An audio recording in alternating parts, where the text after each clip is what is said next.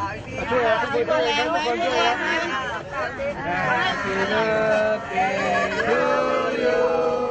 Happy birthday to you Happy birthday Happy birthday Happy birthday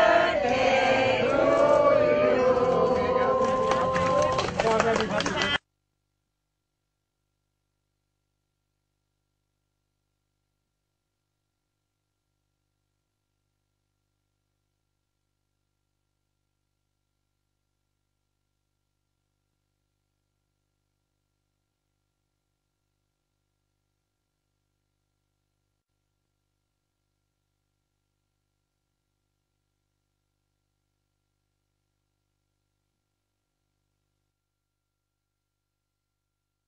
ผมก็อยากมาดูเรื่องคุณภาพชีวิตนะครับ ตั้งแต่เด็กๆที่เราอยู่ที่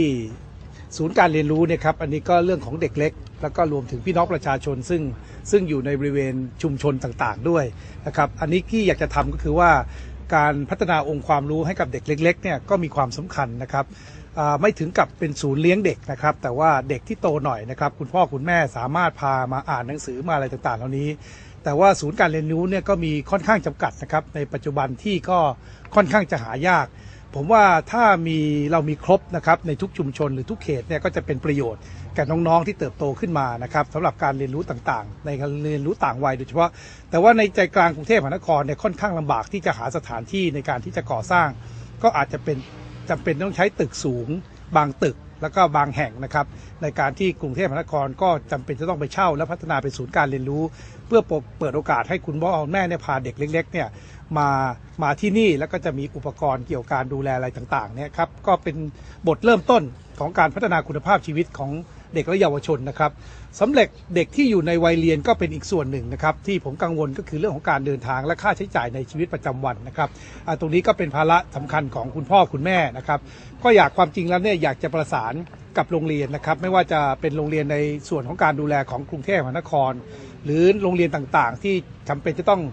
ประสานกับ กระทรวงศึกษาธิการของรัฐบาลนะครับ ว่าทำอย่างไร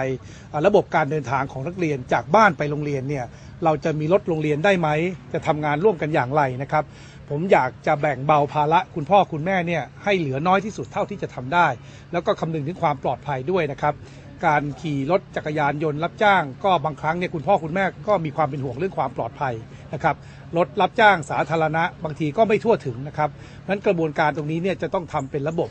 ว่าเรื่องรถโรงเรียนการนำเด็กออกจากบ้านไปโรงเรียนเนี่ยจะทำกันอย่างไร ถึงจะเกิดความปลอดภัยลดค่าใช้จ่าย แล้วก็เข้าโรงเรียนได้ทันนะครับ แล้วสิ่งสุดท้ายที่ที่ดูในวันนี้ก็คือเรื่องของกลุ่มผู้สูงอายุ อันนี้ก็เป็นกลุ่มหนึ่งที่ได้รับการร้องเรียนมาได้รับข้อมูลข่าวสารมาก็คือว่าอ่าที่ออกกำลังกายค่อนข้างน้อย อุปกรณ์การออกกำลังกายก็แทบจะไม่มีถ้ามีก็ค่อนข้างเก่านะครับ แต่สิ่งสำคัญที่สุดที่คนชราต้องการ หรือผู้สูงอายุต้องการก็คือเรื่องของห้องน้ำเรื่องของสิ่งต่างๆ ที่เป็นสิ่งอำนวยความสะดวก ทั้งในเรื่องของ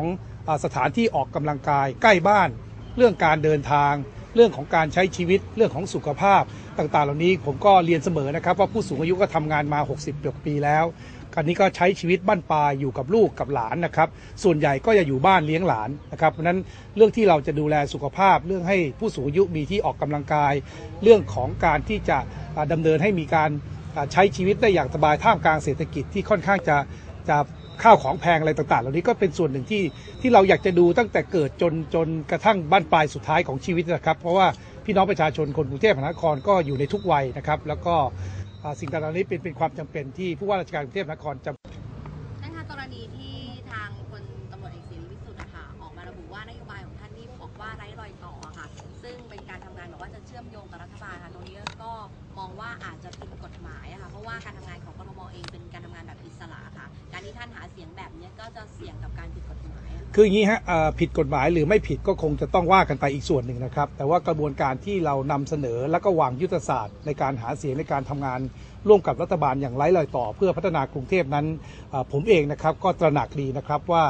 อำนาจหน้าที่ของผู้ว่าราชการกรุงเทพมหานครตรงไหนที่เราทำได้ ในกรอบงบประมาณที่เรามีอันนี้เราทำทันทีอยู่แล้ว แล้วก็หลายเรื่องหลายราวที่ผู้ว่าราชการกรุงเทพมหานครนั้นทำได้ แต่ก็ยังมีกรอบงานอีกเยอะแยะเลยนะครับ มีภาระหน้าที่การงานมีปัญหาของพี่น้องประชาชนที่จำเป็นจะต้องรับการแก้ไข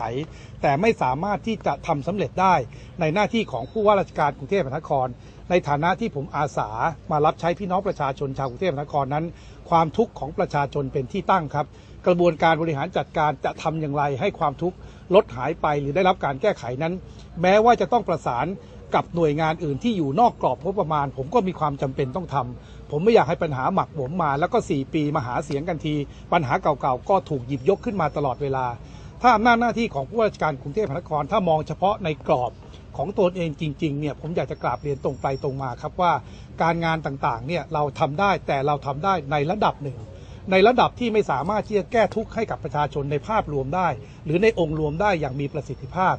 การแสวงหาความร่วมมือการประสานงานกับทุกหน่วยการที่เกี่ยวข้องในภาครัฐบาลใน 20 กระทรวง และก็องค์กรภาคเอกชนต่างๆ เหล่านั้น เป็นการบริหารจัดการที่ผู้ว่าราชการกรุงเทพมหานครจำเป็นต้องกระทำครับ ผมไม่อยากให้ผู้สมัครทุกคนเนี่ยมองกรอบแคบๆในส่วนของกรุงเทพมหานครเท่านั้น แต่อยากจะให้มองกรุงเทพเนี่ยในภาพใหญ่กว่านั้น แล้วเรามาร่วมมือกัน เรามาแสวงหาความร่วมมือ แล้วเราก้าวไปด้วยกันในการที่จะนำองค์คาพยพทั้งหมดเนี่ยมาบริหารจัดการให้กรุงเทพสามารถเปลี่ยนแปลงไปในทาง